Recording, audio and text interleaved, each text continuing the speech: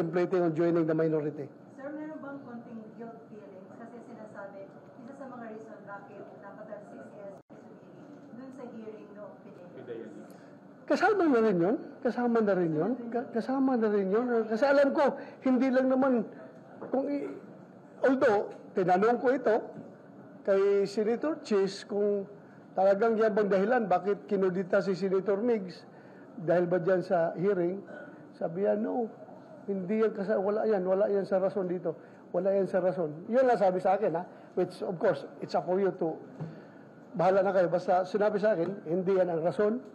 At kung yan man ang rason, supposed to be, whether or not sasama ka sa amin or hindi, tatanggalin ka namin dyan sa sa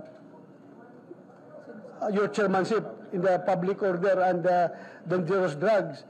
Tatanggalin ka namin kung yan ang rason talaga. Whether or not sasama ka sa amin, then yan ang rason.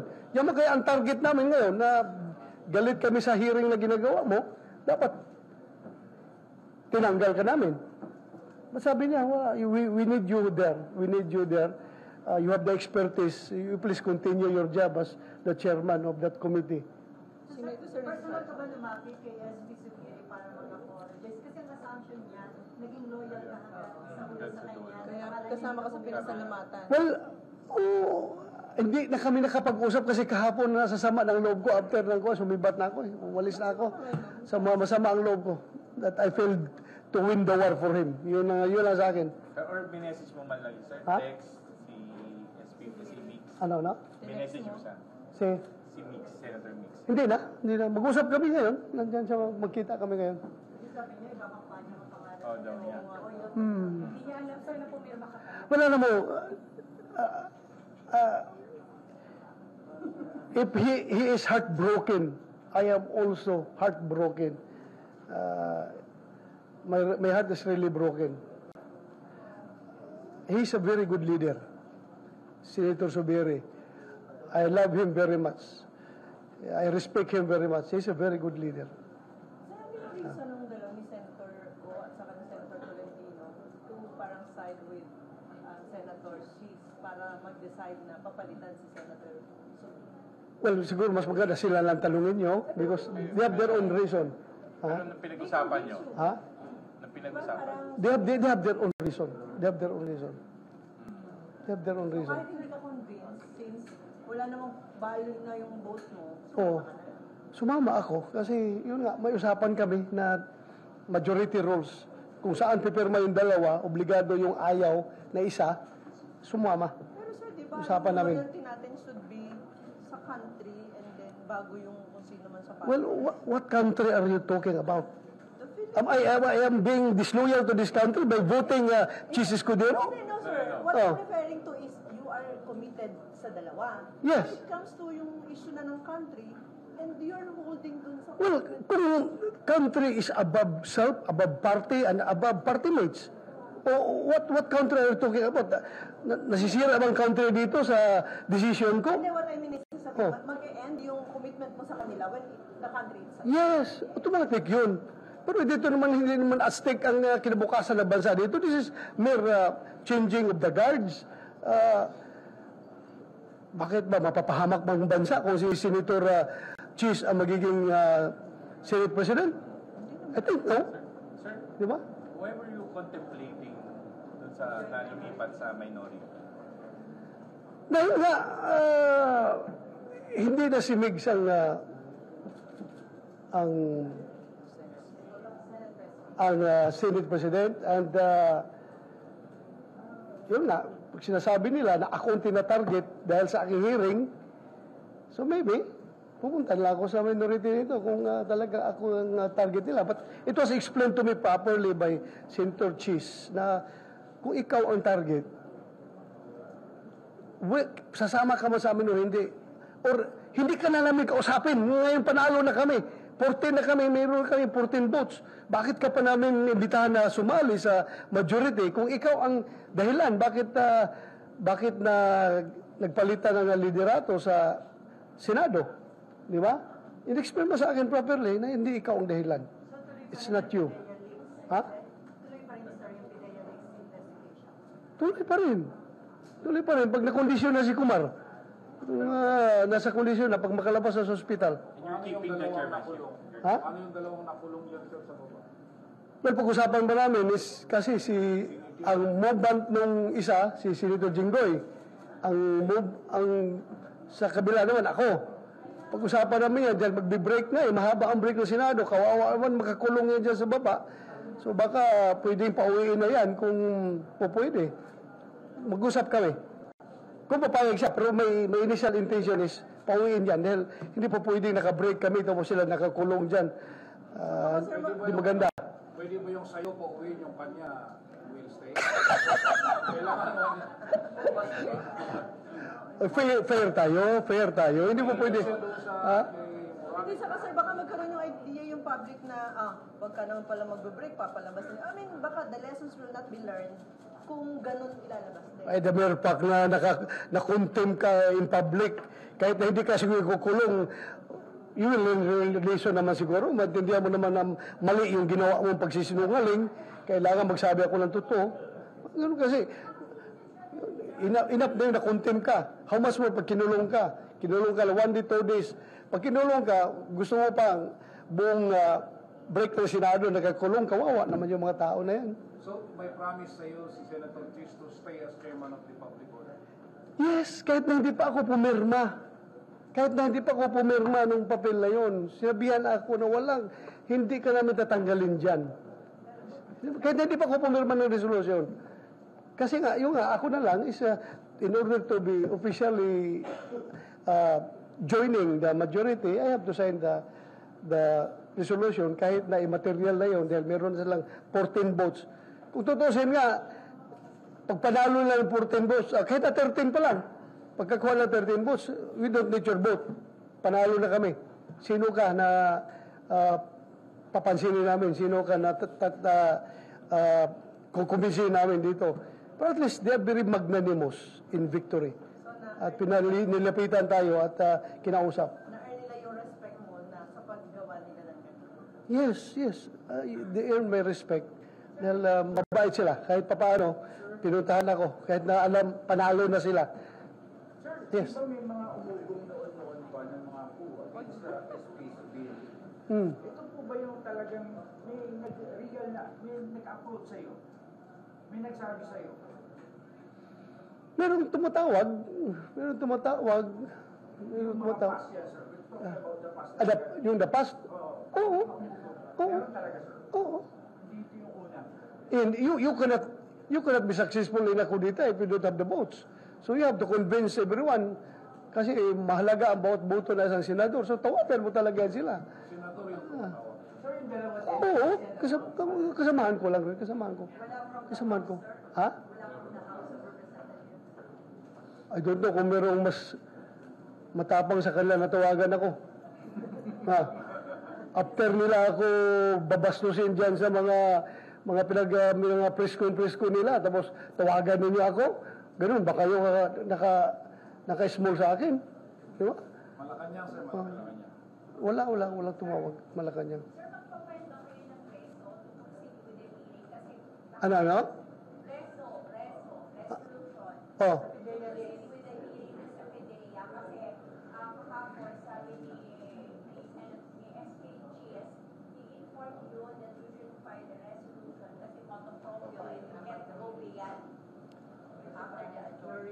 Saan? May, may rules ba stating that? Na pag motor proprio cannot go beyond the four hearings?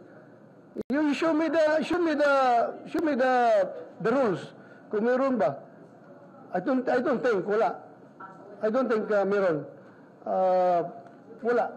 Yan, uh, if they have trust in me as the chairman, siguro, pagbigyan nila ako. Nakita naman nila yung flow ng hearing. Nandun siya kahapon, nandun si Senator Jinggoy. Nakita mo nila. Uh, I don't know if I am violating uh, the Senate rules as far as uh, committee hearings are concerned, lalo-lalo na sa moto, uh, motopropio investigation. Uh, I don't know kung meron akong na-violate. So far, uh, wala akong alam. sabi kahapon ni Santiago, di ba? Ah, niloloko niya lang yung dalawa. Hmm. Hindi niya akalain papatulan mo yung pagloloko nila. Anong take mo doon? Parang... Tell it to the Marines. Ah, Kahit kayo, nan- naniwala kayo? Na kalukuhan lang yung ah, pagsasalita niya doon? Naniwala ba kayo?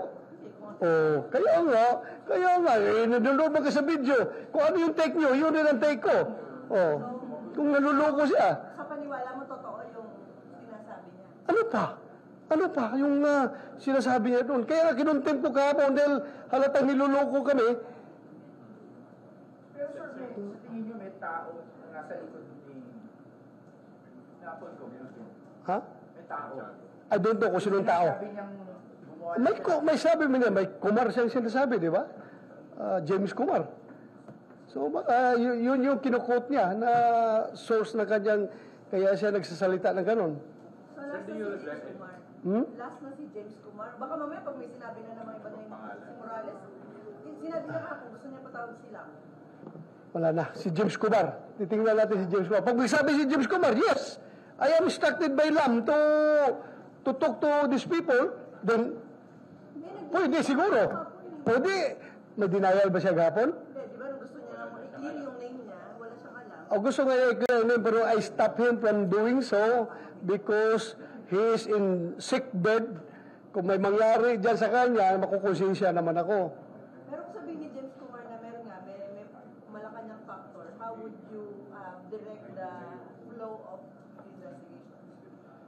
Well, just leave it to me.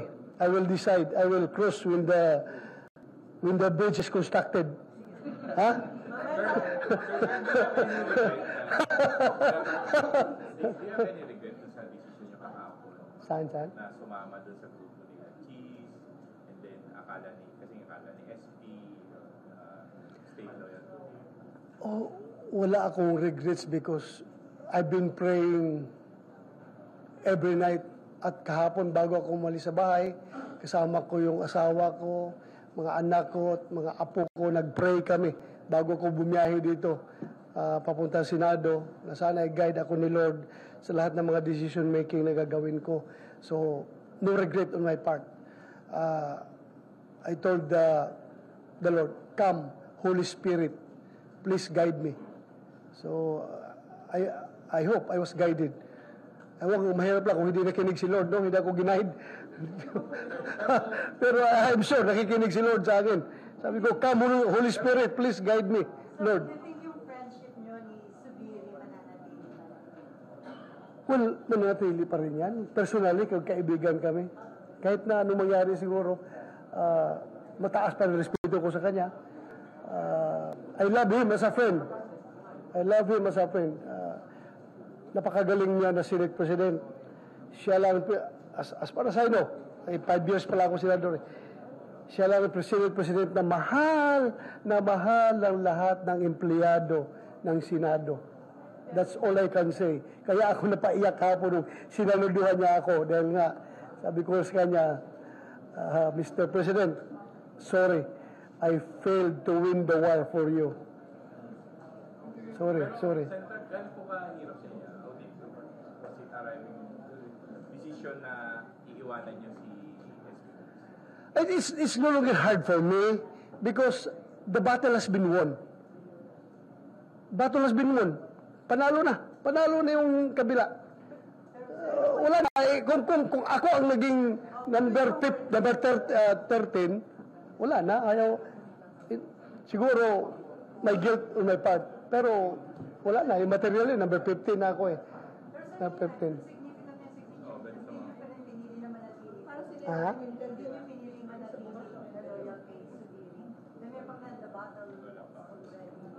Well, I have, as I have said, tinimbang ko ng husto yung aking desisyon. Nagdasal ako kay Lord, ay guide ako. At yun ang naging decision ko na hindi, I would not let my party mates down dahil may usapan kami from the very beginning na in every voting situation, dapat majority rules kung kung uh, yung uh, two against one, yung one should uh, go with the two. So yun ang aming uh, usapan.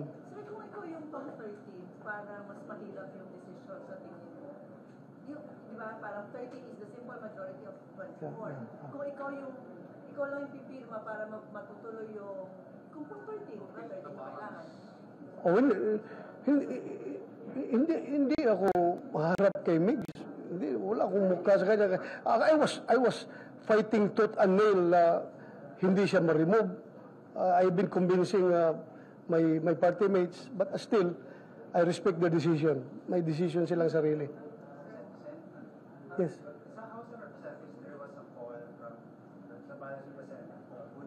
Mm. What-. What sin have I done in order for me to seek an apology? Please tell me, ano kasalanan ko para ako maghingi ng, kasal- ng apology? Kasalanan ko ba kung nailagay yung pangalan niya doon sa report na yon? Was that my fault? I don't think so. Mas malaki ang kasalanan ko siguro sa Pangulo kung being chairman of public order and dangerous drugs. Wala akong ginagawa dyan sa mga impormasyon na yan na hanggang lumakit, lumaki, lumaki, hindi ko inaksyonan. Mas lalo siguro kung may kasalanan sa taong bayan, kung ah, hinayaan ko yan, na yung mga security classified documents ay palagi na lang nangyayari, meron ganon, kung hindi natin imbestigahan. So, I don't see any offense. Ah, Bahala na. Kung sila, tingin nila, may kasalanan ako, then sorry. Kung may kasalanan ako. But for me, to seek for an apology, to ask for an apology, at to, to give my apologies, ah, wala man siguro akong naggawang ah, kasalanan. Oh. Ha? uh. Uh,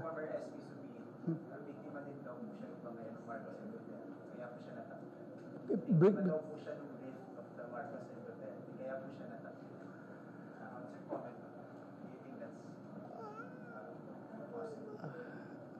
maybe, maybe, to be practical about it, to be practical about it, maybe. Because ano, because yun nga po, he signed the arrest order kay Tuloy. Ah. He signed po the arrest order kay Tuloy and then also he allowed the PDN. So on both and Maybe, but I don't have personal knowledge. Ako hanggang hanggang deduction, induction, uh, conclusion, yun lang yung sa akin. Uh, personal ko lang. Uh, wala akong personal knowledge talaga. Feelings ko lang. Personal feelings. No personal knowledge. Personal feelings. Babalik ako doon sa ah, bakit kailangan magpalit ng Senate leadership nung kinausap ka nung mga nagko-convince na dapat magkaroon ng Wala namang sina- sinabing rason. Basta, oh, sama ka sa amin. Sabi ko, sorry, hindi. yun lang, yun lang. Oh, tawag, pare, sama ka sa amin. Ah, pasensya ka na pare. Ah, dito lang muna ako. Yun, yun lang mga... Wala pong reason. Wala. Walang Wala. Ha? Wala talagang reason na dahil sa style ng leadership, dahil sa Hin- Hindi man kami ganun mag-usapan dito. Ganun. Magtatanong-tanong ka pa. Alam mo naman, you yourself, being a senator, kung ano yung reason nila nakikita, nakikita mo rin naman siguro.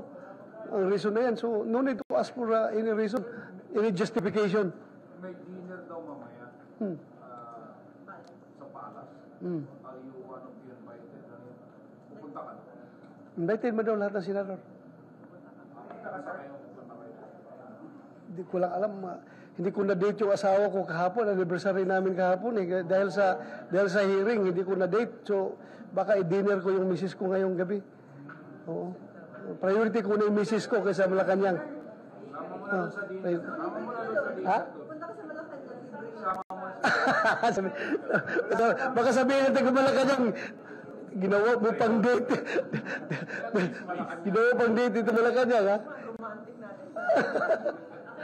Ah. okay na. Salamat, ha? Salamat.